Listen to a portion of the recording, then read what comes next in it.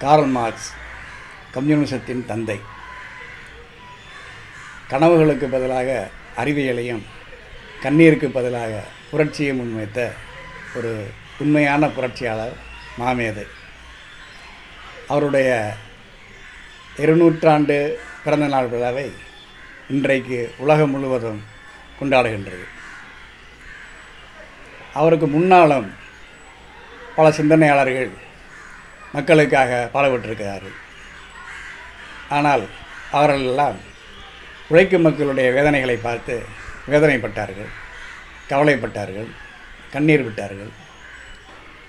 அந்த முதலாளிகளிடம் சென்று உழைக்கும் மக்களுடைய நியாயங்கள் எடுத்துச் சொன்னார்கள்.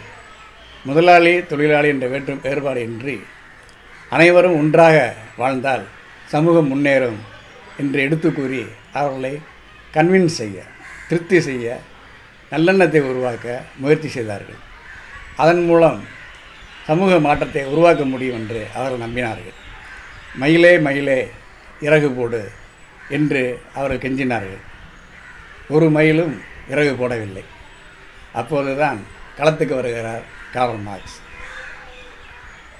வரலாறு முழுவதும் ஏடேறிய வரலாறு முழுவதும் வர்க்க போராட்டங்களின் வரலாறே சமூக மாற்றம் என்பது தனிநபர்களாலோ நல்லெண்ணத்தாலோ வருவதல்ல. வர்க்க போராட்டத்தின் மூலமாக மட்டுமே வருகின்றது என்று அவர் அறிவியல் வகைப்படி மிக விரிவாக விளக்கினார். வர்க்க போராட்டம் நடத்த வேண்டுமென்றால் உழைக்கும் மக்கள் ஒன்றாக சேர வேண்டும். அமைப்பு ரீதியாக திரள வேண்டும். குறிப்பாக கம்யூனிஸ்ட் கட்சியின் வழிகாட்டுதலின் கீழ் வர்க்க உணர்வும் சோசியலிச உணர்வும் பெற வேண்டும். அவ்வாறு அமைந்து இந்த முதலாளித்துவ அரசை தூக்கி எறியும் வகையில் புரட்சி செய்ய வேண்டும். முதலாளித்துவ அரசை அகற்றிவிட்டு தொழிலாளி வர்க்க அரசை உருவாக்க வேண்டும். அவ்வாறு அதன் மூலமாக தனி உடைமையை ஒழித்து ஒரு சோசலிச கம்யூனிச சமுதாய அமைப்பை ஏற்படுத்தும். அப்போதுதான் மனிதகுலம் முழுமையாக விடுதலை அடையும் என்று அவர் அறிவியல் வகைப்படி மிக விரிவாக விளக்கிச் சொன்னார். அவ்வாறு புரட்சி செய்கிறது அரசை மாற்றுவது என்றால் என்ன பொருள்? அரசை மாற்றுவது என்றால் அமைச்சரவை மாற்றுவது அல்ல. அமைச்சரவை நாடாளுமன்றம் ஜனாதிபதி கவர்னர் இவையெல்லாம் அரசாங்கத்தினுடைய ஒரு அங்கம்தான். முக்கியமான அரசு என்பது கலெக்டரேட் என்று சொல்கிறோம் அல்லவா? அரசு நிர்வாகம் உதாரணமாக கலெக்டர் செக்ரட்டரிஸ். அதே போல் போலீஸ் நீதிமன்றம் இராணுவம். இந்த நான்கு அங்கங்கள் தான் முக்கியமான அரசு. இதை மாற்ற வேண்டும் இதை அகற்ற வேண்டும். இது இன்றைக்கு முதலாளித்துவ முறையில் அமைந்திருக்கக்கூடிய ஒரு அரசு. அதை தொழிலாளர்களுக்கு அரசாக மாற்ற வேண்டும். இன்னும் எளிமைப்படுத்தி சொல்வதாக இருந்தால் இப்போது இருக்கிற கலெக்டர் தூக்கிடணும். ஒரு தொழிலாளி வர்க்கத்தை தோழரை விவரம் தெரிஞ்ச தோழரை கலெக்டராக போடணும். அதே போல் ஒவ்வொரு துறையிலும் அதிகாரிகள் நிர்வாகத்தில் உள்ள அனைவரையும் உழைக்கும் மக்கள் சேர்ந்தவர்கள் அங்கே பொறுப்புக்கு வர வேண்டும். அப்போது தான் உழைக்கும் மக்களுக்கான திட்டங்கள் நிறைவேற்றப்படும். இருக்கிற பேர் தான் புரட்சி. அவ்வாறு செய்யும்போது சரி நாங்கள் விலகிக் கொள்கிறோம் நீங்கள் வந்து விடுங்கள் என்று எந்த அரசு அதிகாரியும் எந்த நீதிபதியும் எந்த இராணுவ அதிகாரியும் எவரும் ஒப்புக்கொள்ள மாட்டார்கள். அப்போது இதற்கான முயற்சியில் ஈடுபடக்கூடியவர்களை வன்முறை மூலம் ஒடுக்கவே செய்வார்கள். அவ்வாறு ஒடுக்கினால் ஒடுக்கினால் பதிலடி தர வேண்டும். அந்த பதிலடிக்கு பெயர் தான் புரட்சி. அத்தகைய புரட்சியை செய்வதன் மூலமாகத்தான் உண்மையான அடிப்படையான சமூக மாற்றத்தை ஏற்படுத்த முடியும் என்று கார்ல் மார்க்ஸ் சொன்னார். அந்த வழிப்படி தான் ஆயிரத்தி தொள்ளாயிரத்தி பதினேழாம் ஆண்டில் ரஷ்யாவில் லெனின் தலைமையில் கம்யூனிஸ்ட் கட்சி தலைமையில் புரட்சி நடந்தது. அதன் விளைவாக உலக வரலாறு காணாத ஒப்பற்ற சாதனைகளை அந்த நாடு சாதித்தது. உலகில் முதல் முறையாக வறுமை முற்றாக ஒழிக்கப்பட்டது. அனைத்து வகை ஏற்றத்தாழ்வுகளும் ஒழிக்கப்பட்டன. மக்கள் பலவாழ்வு வாழ்ந்தார்கள் இனிய வாழ்க்கையை வாழ்ந்தார்கள். இது அனைவருக்கும் தெரிந்த ஆதாரபூர்வமான உண்மைகள். பிறகு ஏன் அங்கே இப்போது கம்யூனிசம் சோசியலிசம் அகற்றப்பட்டு மீண்டும் முதலாளித்தம் வந்தது என்ற ஒரு கேள்வி எழலாம் அது இயற்கையான கேள்விதான் அது. அது அந்த நாட்டில் செயல்படுத்தப்பட்ட கம்யூனிச வகை ரஷ்யன் டைப் ஆஃப் கம்யூனிசம் அதில் ஏற்படக்கூடிய ஒரு சில குறைகளின் காரணமாக அந்த வீழ்ச்சி ஏற்பட்டது என்பதை பல்வேறு ஆய்வுகள் மூலம் இப்போ நாம் அறிய வருகிறோம். குறிப்பாக சொல்ல வேண்டுமானால் ஓரளவுக்கு கணிசமான அளவுக்கு கூட ஜனநாயகம் மறுக்கப்பட்டது. உற்பத்தி வளர்ச்சி புறக்கணிக்கப்பட்டது. உற்பத்தி கருவின் வளர்ச்சி புறக்கணிக்கப்பட்டது.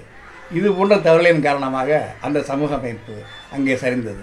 இன்று இது போன்ற தவறுகள் எல்லாம் ஆய்வு செய்யப்பட்டு கம்யூனிஸ்ட் இயக்கம் மார்க்சிய இயக்கம் தன்னை மேலும் வளப்படுத்தி கொண்டிருக்கிறது. மேலும் இப்போது முன்னேற தொடங்கியுள்ளது. இது பற்றி ஆச்சரியப்படுவதற்கு எதுவும் இல்லை என்பது ஆச்சரியமான விஷயம். கார்ல் மார்க்ஸ் இது பற்றி இவ்வாறு நடக்கும் என்பதை ஏறத்தாழ நூறு நூற்றி ஐம்பது ஆண்டுகளுக்கு முன்னாலே சொன்னார் என்பது நமக்கு வியப்பளிக்கக்கூடிய ஒரு செய்தி.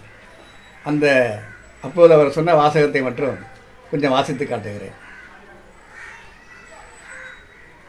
பாட்டாளி வர்க்க புரட்சிகள் தங்களது எதிரிகளை தூக்கி மண்ணில் எரிந்து விட்டதாக தோன்றுகிறது.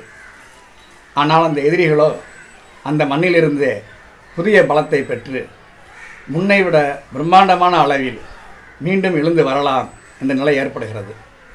தங்களது எல்லையற்ற பிரமிக்கத்தக்க சொந்த லட்சியங்களிலிருந்து எப்போதாவது பாட்டாளி வர்க்க புரட்சிகள் பின்வாங்குவதும் நடக்கிறது. இவையெல்லாம் ஒரு சூழ்நிலை ஏற்படும் வரை தொடர்கின்றன. அந்த சூழ்நிலை உருவானதும் எல்லா வகையான பின்வாங்குதல்களும் சாத்தியமற்றதாக ஆகிவிடுகின்றன. அப்போதுள்ள நிலைமைகளே உரத்து கூவுகின்றன. இதோ இருக்கிறது தீவு தாண்டிக்காட்டு. இதோ இருக்கிறது ரோஜா மலர் ஆடிக்காட்டு என்று. அதுவரை இத்தகைய பின்வாங்குதல்கள் நடந்தே தீரும் என்று சுமார் நூறு நூற்றம்பது ஆண்டுகளுக்கு முன்னாலேயே இன்று நடக்கக்கூடிய விஷயங்களை தொலைநோக்கோடு தீர்க்க தரிசனத்தோடு அவர் அறிவித்தார் என்பது நமக்கெல்லாம் பெருமளவுக்கு வியப்பளிக்காது. ஆகவே அதே போல் ரஷ்யாவில் பாட்டாளிவர்க்க புரட்சி நடந்து வறுமை ஒழிக்கப்பட்டதை போல இந்தியாவிலும் செய்துவிடலாமா முடியாது. எந்த ஒரு நாட்டின் புரட்சியையும் இன்னொரு நாடு காப்பியடிக்க முடியாது. ரஷ்ய புரட்சியைப் போல் சீன புரட்சி இல்லை. சீன புரட்சியைப் போல் வியட்நாம் புரட்சி இல்லை. வியட்நாம் புரட்சியைப் போல் கியூபா புரட்சி இல்லை. இப்படி சொல்லிக்கொண்டே போகலாம். ஆகவே இந்தியாவை பொறுத்த வரைக்கும் இந்திய புரட்சியின் பாதை என்பதை இந்தியா தான் உருவாக்க வேண்டும். அதற்கான வழியில் தான் இந்தியாவில் உள்ள கம்யூனிஸ்ட் இயக்கம் முன்னேறி வருகிறது. இதில் பின்னடைவுகள் மாரசே குறிப்பிட்டதை போல பின்னடைவுகள் ஏற்படுகின்றன மீண்டும் முன்னேறி செல்லுகின்றன. ஆகவே அத்தகைய புரட்சிகர பயணத்தை மேலும் விரைவுபடுத்துவதற்கு நாம் என்ன செய்ய வேண்டும்? நாம் செய்ய வேண்டியது முதலில் மார்க்சியத்தை பயில வேண்டும். மார்க்சியத்தை பயிலுவது கொஞ்சம் கடினம்தான். அதுவும் இந்தியாவுக்கு பொருத்தமான வகையில் அதை கிரியேட்டிவ் அப்ளிகேஷன் என்று சொல்லுவார்களே ஆக்கபூர்வமாக செயல்படுத்துவது என்பது இன்னும் கூட கொஞ்சம் கடினமானது. ஏனென்றால் இந்தியாவில் வேறெங்கும் இல்லாத அளவுக்கு இந்திய துணைக்கண்டத்தில் சாதி மத கொடுமைகள் மிக அதிகம்.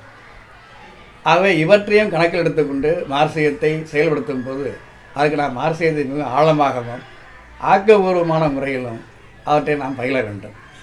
அவர் பயில்வதற்கு மார்சிய நூல்கள் ஏராளமாக உள்ளன. எளிமையாக என் நான் ப்ளஸ் டூ படித்தவன். பியூசி என்று சொல்லுவார்கள். அது முதலில் படிக்கும்போது கொஞ்சம் சிரமமாகத்தான் இருந்தது. மார்க்சியம் என்பது ஒரு சமூக அறிவியல். அறிவியல் வந்து கதையை படிக்கிற மாதிரி படிக்க முடியாது. ஆகவே கொஞ்சம் கவனமாக படித்தால் அதை நிச்சயமாக புரிந்து கொள்ள முடியும். ஆகவே மார்க்ஸ் தெரியும். ஆனால் அவரை பற்றிய விவரங்கள் தெரியாது என்று சொல்லுபவர்களுக்கு அறிமுகப்படுத்துவதற்காக மிக எளிமையான ஒரு பத்து புத்தகங்களை இப்போது நான் பரிந்துரைக்க விரும்புகிறேன்.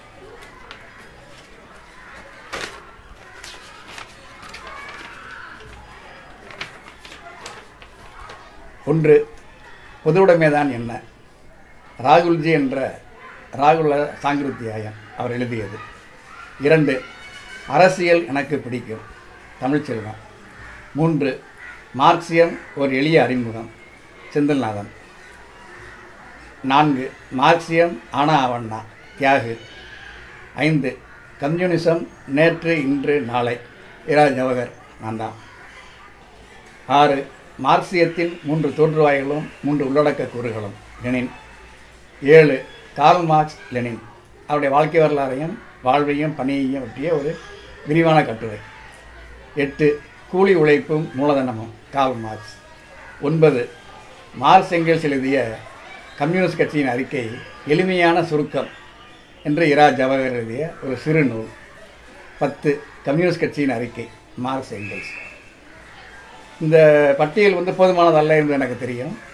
இதை விரிவுபடுத்தி பல்வேறு grade first list second list இரண்டாவது பட்டியல் மூன்றாவது பட்டியல் என்று ஒரு பட்டியல் தயாரிக்க உத்தேசம் இருக்கிறது. மற்ற தோழர்களோடு தலைவர்களோடு கலந்து பேசி இத்தகைய பட்டியல் விரைவில் உருவாக்கப்பட்டு உங்களுக்கெல்லாம் அளிக்கப்படும். எனவே உழைக்கும் மக்கள் வளமான இனிய வாழ்க்கை வாழ்வதற்கு உலக அளவில் பொருந்தக்கூடிய தொடர்ந்து வளரக்கூடிய வழிகாட்டக்கூடிய ஒரே தத்துவம் என்பது மார்க்சிய தத்துவமே. மார்க்சிய ஐடியாலஜியை கருத்தியலை சித்தாந்தமே. அவற்றை நாம் ஆழமாக பயில்வோம் செயல்படுத்துவோம் வெல்வோம் என்று கூறி விடைபெறுகிறேன். நன்றி வணக்கம்.